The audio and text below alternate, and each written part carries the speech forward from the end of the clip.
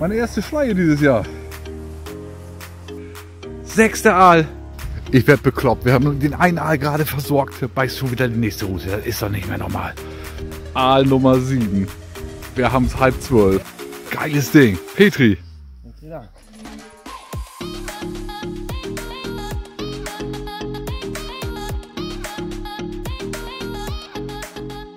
Moin und herzlich willkommen bei Kaubarsch TV. Mein Name ist Gü und heute drehen wir die zweite Folge Nachtschicht und es soll wieder mal auf Aal und Schleie gehen.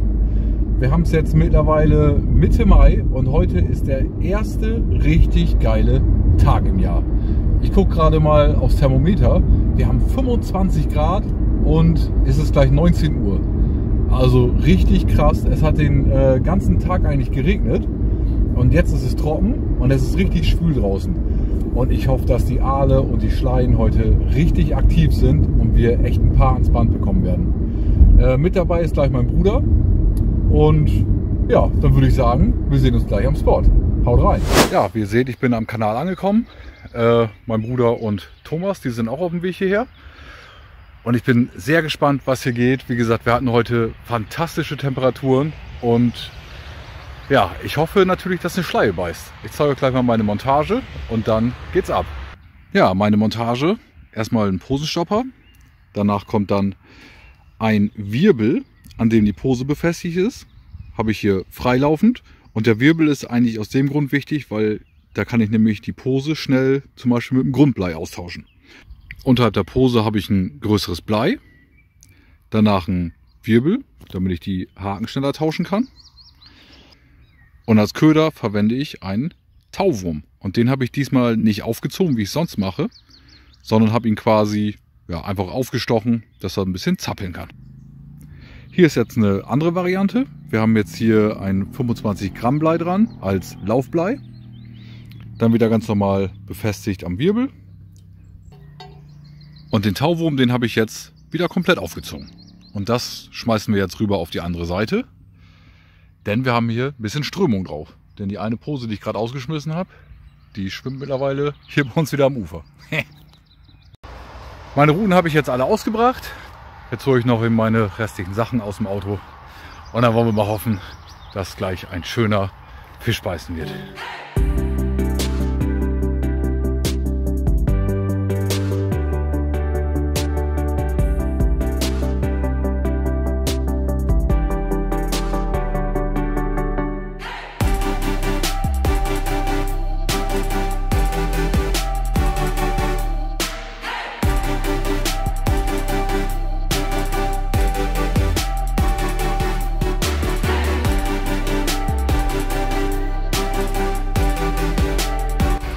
So, wir haben es jetzt kurz nach 8. Wir sind mittlerweile vollzählig. Da ist Thomas.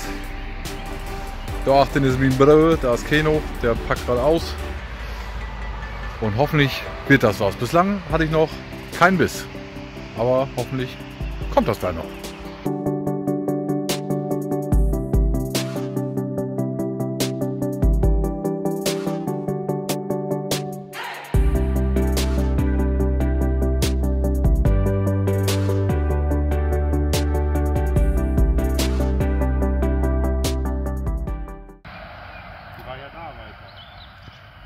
Versuch mal. Scheiße. Was war das denn für eine Aktion? Der schwamm hier direkt an der Kante. Schade. Will was.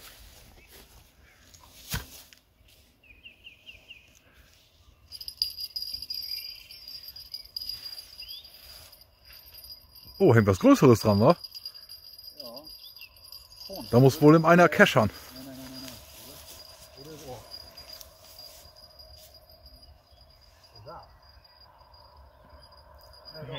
Aber brauchst nicht pfeffern, oder?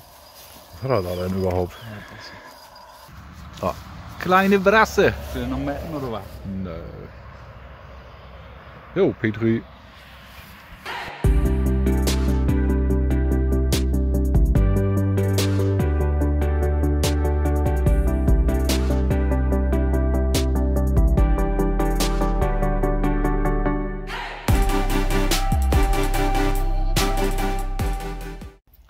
Haben es jetzt mittlerweile Viertel nach zehn und erfahrungsgemäß beginnt jetzt so langsam die ganz heiße Phase.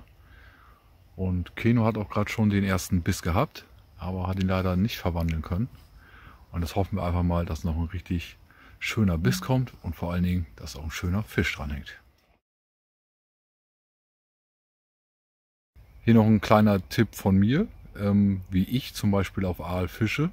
Ich wechsle eigentlich spätestens alle zwei Stunden mal die Würmer durch, weil ich äh, glaube, dass die Fische eher Bock haben auf Würmer, die sich noch bewegen. Also weil die natürlich unter Wasser dann auch Vibrationen aussenden und Bewegung und das spüren die Fische. Und das hat mir schon so manchen Fisch gebracht und ich hoffe, das klappt auch heute.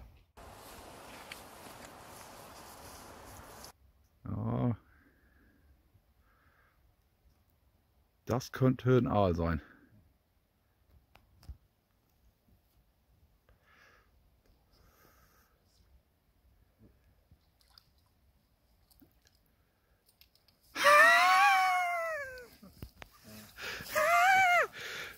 Es ist ein Aal, wenn überhaupt.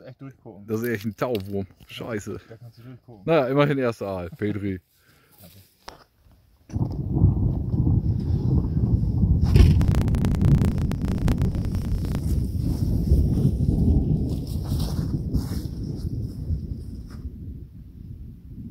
Dann befört Gewitter.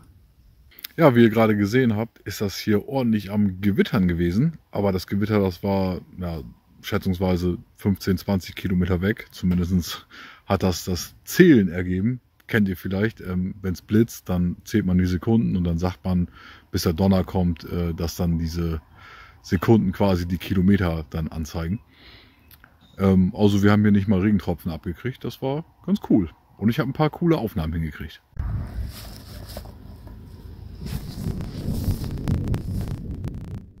Ja, mittlerweile haben wir es fast 12 Uhr und es hat sich nicht wirklich viel getan an den Posen, beziehungsweise an den Montagen. Ähm, ich glaube, wir hatten seit 10 Uhr vielleicht drei, vier Zupfer und zwei Bisse. Ihr habt es vielleicht gesehen, eine Brasse hatte Keno gefangen, so eine ganz kleine.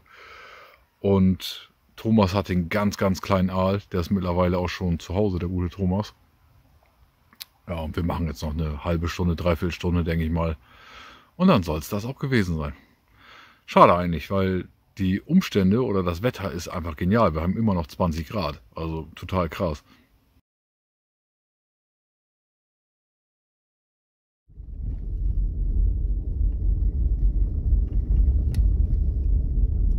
Ja, moin, da bin ich schon wieder. Der zweite Teil, wir haben es direkt einen Tag später. Wir konnten gestern keine Abmoderation mehr machen, weil ich tatsächlich keinen Speicherplatz mehr frei hatte. Das war ziemlich doof. Naja, ähm, ich treffe mich heute mit Lothar wieder. Das ist der gute Mann, der. Wow, die dicken Schlaglöcher hier. Das ist der gute Mann, mit dem ich äh, das letzte Mal ein A-Video gedreht habe, was auch relativ erfolgreich war.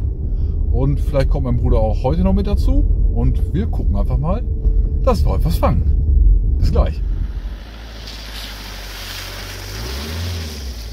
Wetter ist super angenehm. Ich glaube, wir haben gerade noch 16 Grad und es ist kaum Winter. Also eigentlich perfekte Bedingungen. Also eigentlich genauso wie gestern, wo wir so gut wie nichts gefangen haben. Aber heute fangen wir hoffentlich was. Ich bin guter Dinge.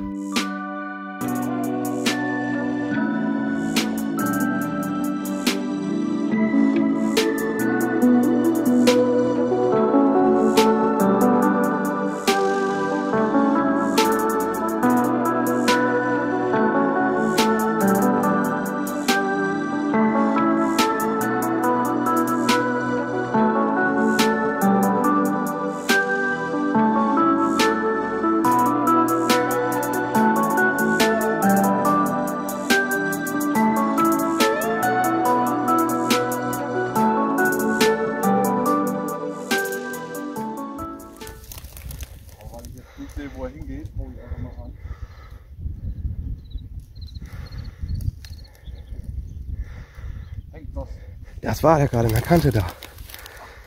Da ist er. Lang, langsam. Ja, das ist ein kleiner Aal. Aber der hängt direkt im Schild da hinten. drin. Das Schwein.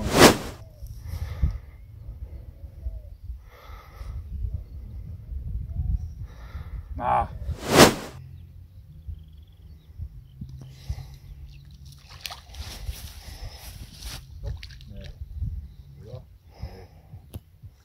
Meine erste Schleie dieses Jahr.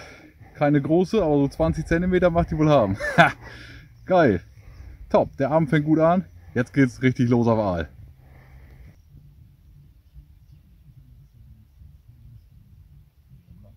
Oh ja, jetzt zieht er wieder.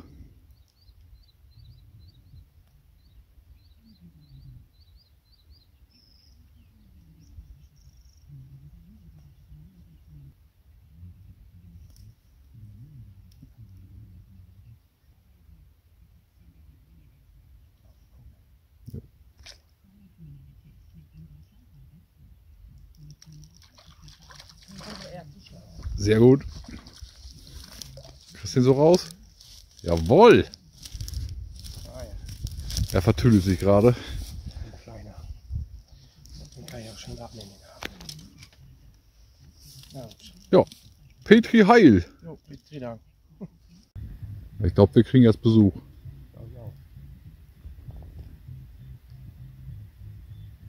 Kano oder Hillo. Obwohl, ich glaube, er ist Kano. Scheiße. Nur am Rumrennen hier. Lothar hat schon wieder Biss.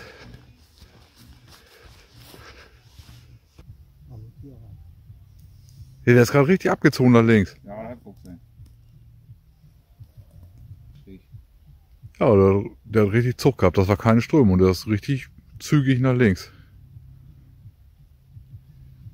Das gibt's auch nicht. Viel Bisse heute ohne Ende, wa? Ne, er, er macht nochmal. Ja, nun geht er Gas. Ja, er hat was.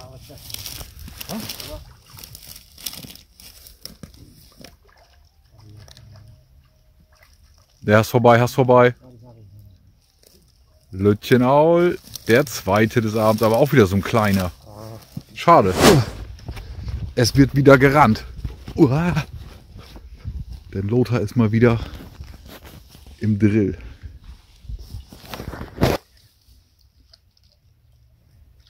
Keno Kescher. Ja, ich bin Ali.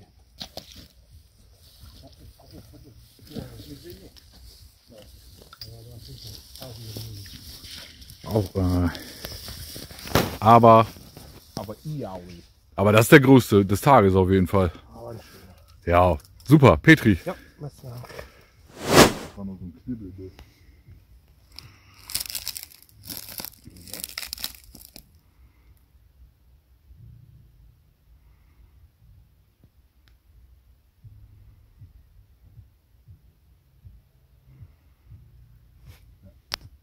Nothing. Also das ist echt nicht normal. Zehn Minuten später, Lothar hat schon wieder Biss. Also es ist echt unnormal, wie krass das heute abgeht. Drei Aale gefangen, zwei Aale verloren, Schleie gefangen. Unnormal. Und wir haben es noch nicht mal 11 Uhr. Und Bisse ohne Ende.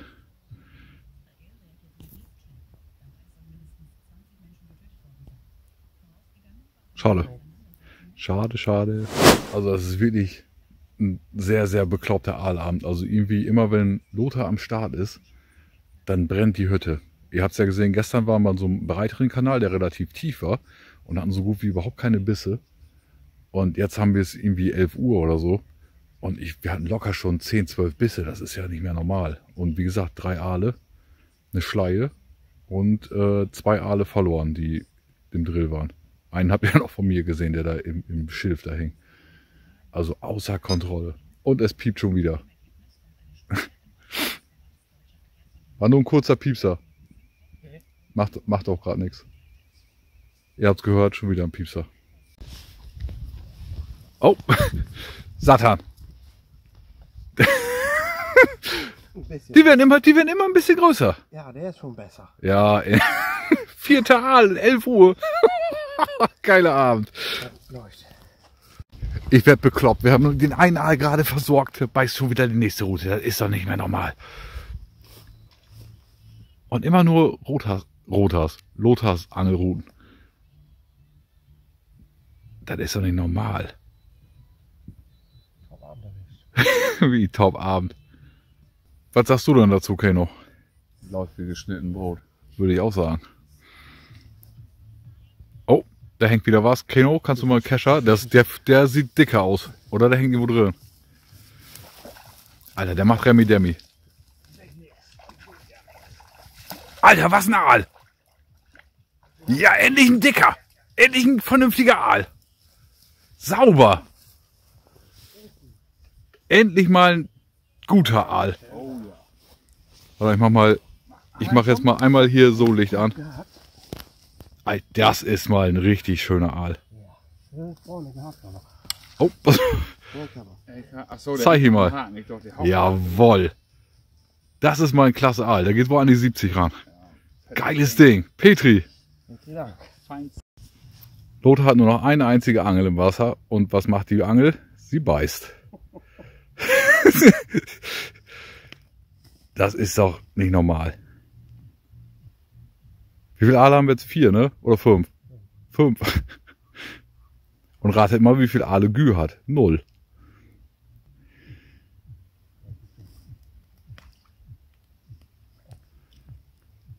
Ne, diesmal kein Aal aus. Gibt's das? Also wir haben jetzt wohl gerade das richtig krasse Beißfenster erwischt. Wir haben es jetzt mittlerweile Viertel nach elf. Und ja, fünf Aale jetzt. Fünf Aale und eine Schleie. Und wieder ein paar Fehlbisse gehabt. Und jetzt zeige ich euch gleich mal den absoluten Geheimköder hier. Das ist der Topköder heute. Das sind Mistwürmer aus Lothars Garten. Und die bringen heute den Fisch. Ja, top.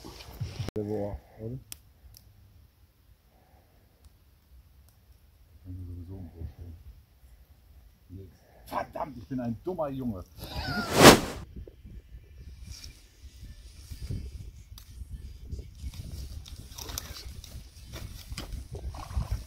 Schöner Aal. Nein! Das gibt's nicht. Scheiße. Es nimmt kein Ende. Mach ruhig.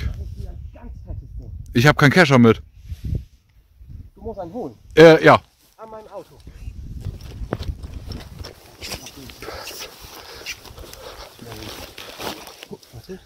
Ich sehe nichts. Ja, ja, ich habe ihn.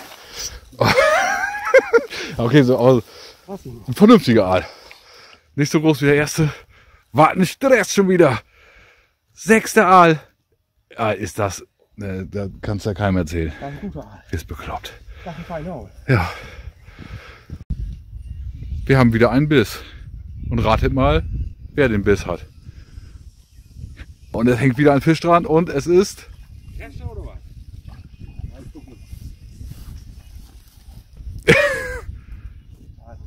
Aal Nummer 7. Wir haben es halb zwölf. halb zwölf, sieben Aale. Krank. Ich hatte gerade Biss auf einer von meinen Routen, will die kontrollieren, weiß die andere Route von mir und dann komm mal her, Keno. Keno, komm mal her. Keno, der möchte euch eben was zeigen. Ja, aber der ist mini. Das ist ein Taubo. Ja, der hängt zumindest an meiner Angel. Ja, den schmeißt man schnell wieder rein. Oh, das beißt wieder. Oh, ich werde bekloppt. Habt ihr den Pieper gehört? Habt ihr den Pieper gehört? Es beißt immer noch. Oh, ist das bescheuert. Also ihr seht heute auf jeden Fall mal das Beispiel, wie man gut Aal angelt und wie man ganz beschissen Aal angelt. Denn während Lothar sieben Aale gefangen hat und zig Bisse auch hatte, habe ich nicht so viele Bisse gehabt und ein Aal komplett verkackt und mehrere Bisse verkackt. Also jetzt habe ich eine Mücke im Ohr. Also richtig schlecht für mich bislang. Aber Lothar fängt und das macht mir dann auch Spaß. Aber mal hier ein dicker Gelbrandkäfer. Muss mal angucken, wie dick der Yogi ist.